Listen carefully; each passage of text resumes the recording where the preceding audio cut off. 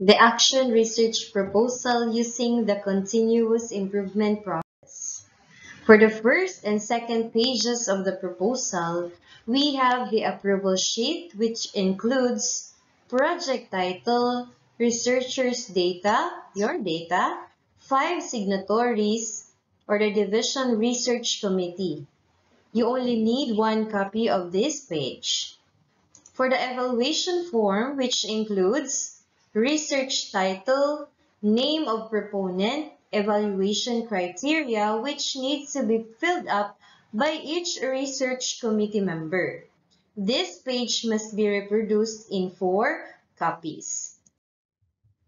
These are the different parts of action research proposal. We have the context and rationale, action research questions, proposed innovation, intervention, and strategy, action research methods, action research work plan and timelines, cost estimates, plans for dissemination and utilization, and lastly, we have the references. Context and rationale. It does have the following parts. Overview, literature or related studies, introduction to the main focus of the current study. For the overview, there must be 10 literature or studies according to the new standards released by the Region 5 PPRD which must be interconnected with the responses to your research questions. Because later on, in following the I-pair strategy for the discussion of the results, we or you will have to reflect and then the link between the literature and the result of your study must be presented. So the literature or studies may be international and or national standards of your chosen topic. So there are different sites where we can search for literature and studies online. We have here ERIC or the Institute of Education Sciences. We also have Mendeley, the ResearchGate, and the Google Scholar. If you have other sites, that you know where you can find literature and studies, you may use them. So now kindly focus your attention on the paragraph inside the red box. That is a sample of how we must cite a study. In citing a study, we do not need to paraphrase the whole abstract. We just need to get the result of the study. As for this example, for the study conducted by Miss Lee, Jessica, and the others on 2020, they found out in their study on the comparison between the virtual platform with that of the face-to-face. -face. So there is a com comparison within uh, for the, within the two modality in taking any course of study. The student in face-to-face -face courses were more more likely to score higher and demonstrate proficiency on standards of learning, and advanced placement exams than students taking the same course through Virtual Virginia across most subject areas. So we just get the result for each related study. Next, we have the action research questions. So we have four components for action research questions. Number one, we have the introduction. So we have to cite the goal of our study and then the respondents with the timeline. So for this example, this action research aimed of improving the students' cursive handwriting in preparing their outputs for the written works and performance tasks in Araling Panlipunan 9, this school year 2020-2021. Specifically, this will seek to answer the following action research questions. So for the action research questions, we are required to provide a minimum of three questions. For the question number one, it must be related to the baseline data needed for the research. Question number two must be on the level of effectiveness of the innovations, strategies, and interventions implemented. For the question three, it must focus on the effects of the actions implemented on the attainment of expected outputs. For number three, we have the expected outputs. So we are required to provide a minimum of one expected output for our study. So include the line at the end of this action research, the following is are expected to be achieved. Of course, we use is if there's only one and are if more than one. And then cite the expected output or outputs with the baseline data and the target. For example, Number one, improve students' cursive handwriting from 78%, which is the baseline, to 98%, which is the target as reflected in their written works. Number two, increase students' rating under performance task in the preparation of caption of a picture using cursive handwriting from 78% to 98%. Lastly, we have the questions for the VOC. Okay, for in, in developing the questions for the voice of the customer, we must bear in mind that we must be able to solicit responses on the needs and wants of the responses. So, dapat nasa lingwahe na maiintindihan ng mga bata. It can be in Filipino or in Bicol. For example, kung bibigyan ka ng pagkakataon na markahan ng iyong sulat kamay, ilan ang marka mo? At bakit? Ano ang ginagawa mo upang maunawaan mo ang sarili mong sulat kamay? So those are examples of questions for the VOC. You may provide three to five questions for your action research. So example of action research questions for the baseline data needed for the research. We have here the CI project profile which includes the KPI, broad problem statement, key process, key customers, process owner, questions for the VOC, affinity diagram, SIPOC priority, improvement area, and root causes. So you may copy this particular question in your action research proposal. Another, on the level of effectiveness of the innovations, strategies, and interventions implemented, your questions may your question may be, what is the level of effectiveness of the interventions, innovations, and strategies implemented? On the other hand, we have the effects of the actions implemented on the attainment of expected output. Your question may be, what is the significant improvement in the performance level of the learners as reflected in the mean rating of the fourth grading test results and the attainment of other expected output. So there you have the sample of action research questions.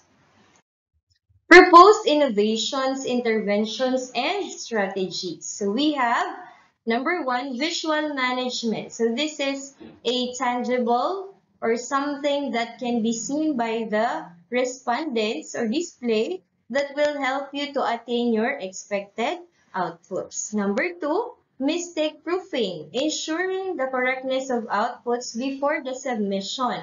Submission of outputs to the process owner or the subject teacher. Number three, process simplification. This is a simple workflow or flowchart of instruction. Other inter interventions such as symposium and or exhibit showing best outputs and rewards and recognition for best achievers may also be implemented. We have to remember to put a branding on our interventions, innovation strategies to be implemented. What does branding or branded intervention means? So I will present to you the different interventions we've employed in the Project Aral pandemic.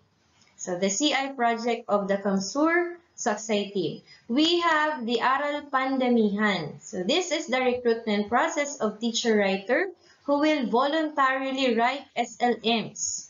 Next, we have the Aral Pandihan. So there will be series of virtual conferences and orientation among the writer. We also have the intervention code Aral Pansulatan. This will start the writing of their SLMs and other instructional materials and will conduct self-editing using SLM's IM's evaluation tool following the LRMDS standards. Aside from this, we also have the Aral Pankulitan.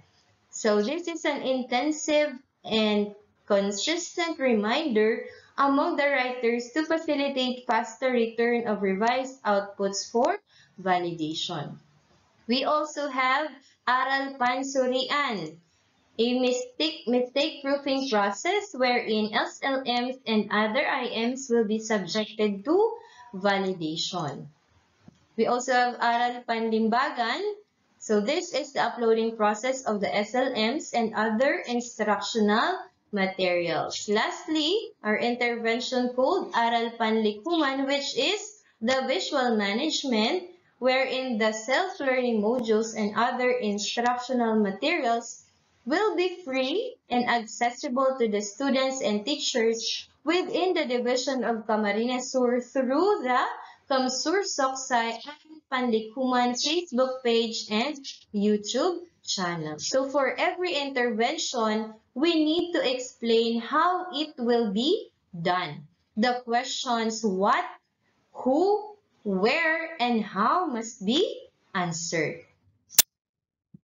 So we have here the competency mastery wall as a sample of visual management which I used in my project gold, which was divided into three parts. So the lesson master, competency master wall, and the high flyers of the quarter. Infographics was also provided with the other VM or visual management tools. This was placed in a strategic area in the classroom so everyone will be able to see it.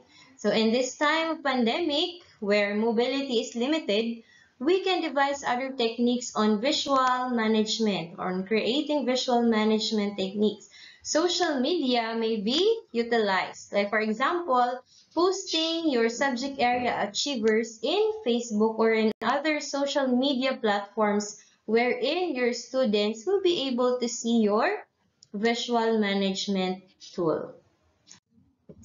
A sample of process simplification and mistake proofing. So the mistake proofing tool for the Project Aral Pandemic was called Aral Pan Surian, wherein after writing the SLMs, it will be subjected to peer editing and initial revision. Right after that, it will be submitted to content validator, language editor, and layout editor. If it needs major revision, on the third step, it will be sent back to the writer for revision, for major revision. However, if it only needs minor revision, it will be submitted directly to the overall validator. So that is how we explain each intervention.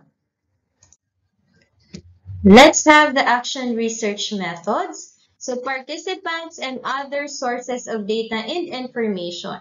So data on the respondents must be presented here. If there are other sources of data like external stakeholders and others, it must also be included. Uh, included. As for this example, there's a total enumeration of 53 grade 9 gold of Rodriguez National High School, Pili Camarines Sur enrolled for school year 2019-2020 will be the respondents of the study. So test results in AP for the first grading is a source of data and information. Average as well of the learner's grades as reflected in SF5 will be used to back up the data for the test results of the focused subject. So that's all about participants and other sources of data and information. Under research methods, we also have the data gathering methods. So discuss here the means on how you will get the data needed for each research questions. You may include tables and then include rubrics on how you will interpret the results on the table later on. Okay, next to that is uh, the data analysis plan. So discuss on how will you analyze the data gathered in your study. So this for example, this data analysis plan was presented per action research question so that the research and other researchers will fully understand and internalize this process. So for the performance level of learners in AP9 based from the first quarter test results, this will be the data analysis plan. For the data analysis of action research question number one, the test results for the first grading period for AP9 will be used as basis. Equivalent ratings will be obtained and interpreted using the range of ratings. So there is uh, rubrics. Okay, so 81 to 100 as the very high and then very low 1 to 35. So that's for action research method. Let us proceed to the action research work plan and timelines. So in the action research work plan and timelines, we will follow the CI process. This is called a AAA and under each stage are the steps which we call the 10 CI steps. For the assess stage, the first stage, you are trying to understand your current processes and your current performance against the need and the wants of your stakeholders. Maybe the question there is how are we performing based on the requirement of our stakeholders or learners. So it involves a step 1 to 4, Get organized, talk with your customer wherein you will be needing your VOC or the voice of the customer. Step 3, walk the process. And then 4, identify priority improvement areas. For the analyze stage, the stage 2, it is getting to the root causes of the problem. It allows you not to jump into solutions without really identifying what the real reasons are. This stage will help us create more relevant solutions to our causes, okay, to our root causes that we have identified in the problem. So it involves three steps. We have the root cause analysis, development of solutions from the root causes identified, and then finalize improvement plan. Right after that is the act stage or the third stage which is the implementation of the solution. So implementing the solutions is also a continuous improvement. So you will notice that the arrow in the triple A goes back to the first stage from the act stage going back to the assess stage. Okay, this means that we must continuously improve. So there is a cycle in the CI process we need to consider our learners and everything we do. So in each step of the CI process, the 10 steps, the learners must always be our top priority. Despite our good intentions to improve the way we do things, there should also be a careful and structured way on how to manage it so that people will not resist change. There is nothing permanent except change. For the cost estimates, include all the details of the possible expenses in implementing your research. You can submit your proposal for BERF or Basic Education Research Fund of the regional office which grants financial support for basic and action researches.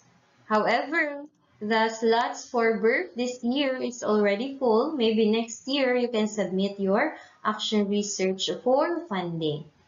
Okay, aside from BERF, you can also uh, cite personal sponsors and other fund source as your source of funds. So this is an example of a cost estimate. So it includes the item, the quantity, unit price, and then the total price for the fund source, sponsors, and other fund source, personal, or BERF. So plans for dissemination and utilization includes activities, timelines, persons involved, and means of verification. So this involves your plans on how to communicate the results of your study to the others. It can be internal or external stakeholders. For example, you plan to present your research output during faculty conferences, during district, division, or regional research forum. So the timeline must be identified as well as the persons involved. It can be uh, the proponent, the CI team if you have your CI team. For For the means of verification, you may identify or add presentation slides, briefer, and then flyers. So these three are mandated or required when you are um, implementing ACI project. For the references, the last part of the action research proposal, we must identify all the sources that we've gathered in developing this project proposal. So that ends the presentation for the action research proposal. Thank you, good luck, and God bless.